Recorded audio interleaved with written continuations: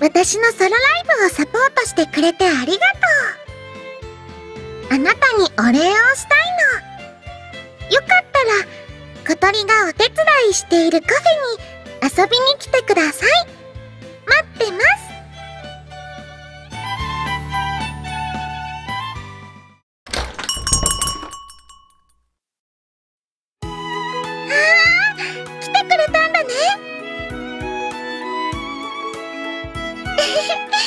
いつも通り部室で話してもよかったんだけどたまには気分を変えてもいいかなと思って。さあ座って座って。今日はオムライスとロイヤルミルクティーをサービスしちゃう。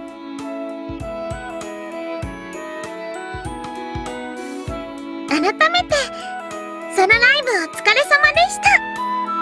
それからソロライブ成功おめでとう。どうしたの？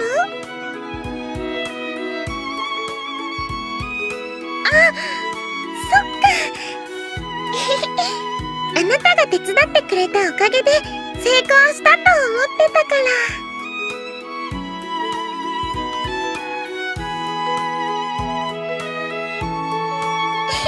あ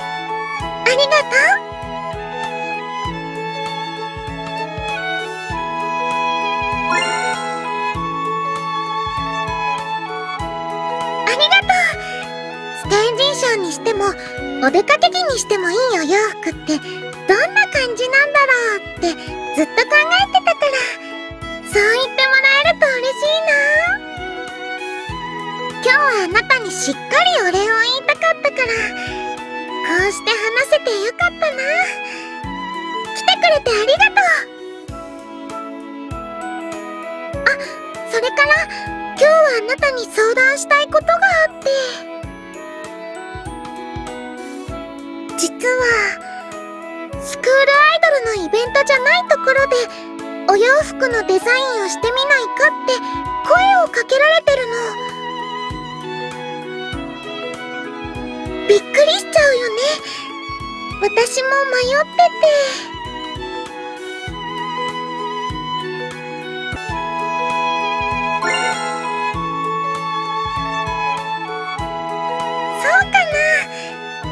でもできるだけ多くの人に喜んでもらいたくて。